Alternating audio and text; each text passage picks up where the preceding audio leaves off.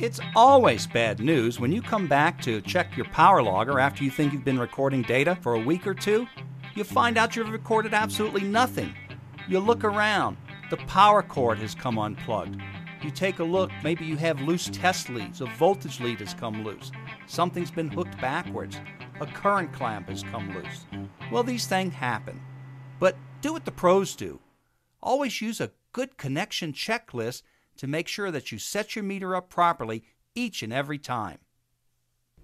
Well, the truth is, everybody makes these kinds of mistakes at least once. Hi, I'm Randy Barnett for Fluke.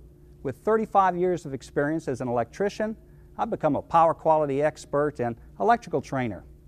In this video, we're going to run through a checklist that the pros use to make sure that they connect their power logger properly and avoid common connection errors. So here are three important checklist items for you to always remember. First, check the connections. Second, you're going to check the numbers. And third, check the arrows, as we say. There are four common errors when it comes to connecting power quality analyzers. First, incorrect clamp directional orientation, probes on the wrong phase, missing voltage, incorrect phase rotation.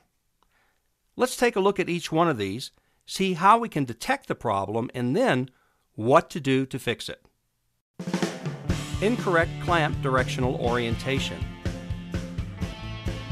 After you've determined what equipment you need to monitor and gathered the appropriate PPE and put it on and set up your barriers, make sure that you have all of your analyzer equipment set up and ready to go. And remember, if you're a qualified person, you can go ahead and override those safety interlocks to open up that cabinet door. Just remember, safety first. Always stand to the side when opening up those doors. Then check your analyzer equipment. Make sure that all of your test leads are correctly labeled and color coded. Look at your arrows on your test leads. Make sure that on the current probes they always point towards the load. Match proper phases. Phase A test lead to phase A, phase B test lead to phase B, and so on. This is best accomplished if you use color coding on your test leads to match up to the color coding on the equipment. With your voltage test leads, make sure you first get a good grounding connection in your equipment. Then connect voltage phase A test lead to phase A, voltage test lead B to phase B, and voltage test lead C to phase C. Now it's time to put that checklist to good use. An easy way to do this, to check your connections, is to first go to the phasor diagram on your analyzer. Phase A voltage is very much out of phase with the phase A current. Must be a connection problem. Well, sure enough, if we go back and we take a look at the equipment, we find out that we have the arrow pointing in the wrong direction for phase A.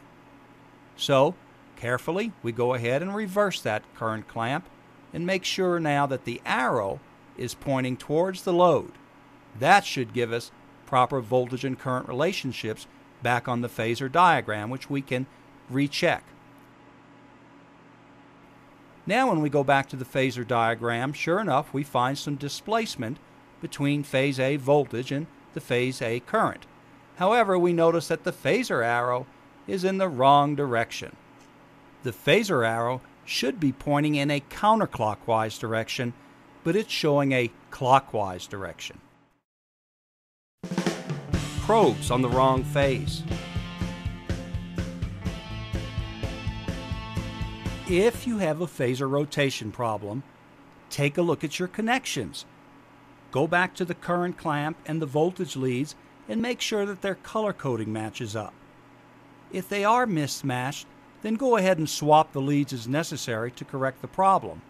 Then, always go back to your power quality analyzer to the phasor diagram and make sure that for A, B, C rotation, the arrow is pointing in a counterclockwise direction on the phasor diagram. Missing voltage. Another common problem is to have one of those voltage leads pop off long after you've left the equipment. You'll see this indicated on the power quality analyzer. If you look at the scope screen, you'll notice that one of the phases is missing. The same is true if you go to the phasor diagram. To correct this problem, obviously you have to go back into the equipment and securely fasten that voltage lead.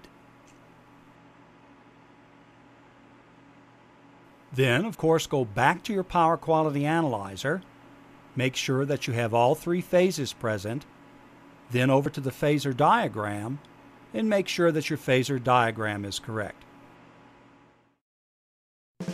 Incorrect phase rotation. So, for normal phase A, B, C rotation, on the phasor diagram, the arrow points in a counterclockwise direction. At the zero reference point, the thick black line indicates the phase A voltage. Phase A current, the thin black line, can be seen lagging behind the phase A voltage.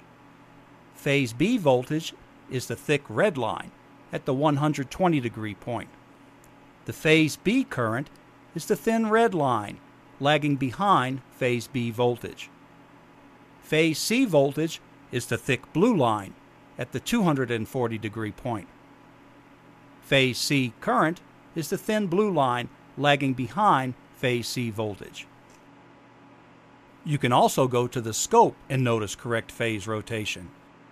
You see phase A, the black phase build up, then it's followed by phase B, the red phase, and then phase C, the blue phase.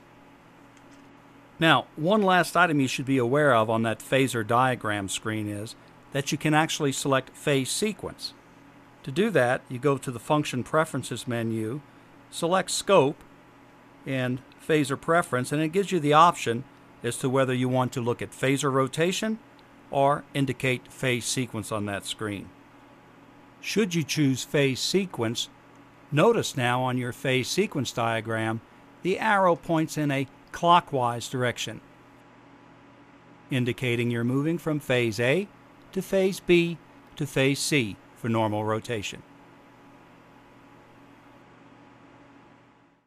So, the bottom line is use a checklist and avoid those embarrassing moments.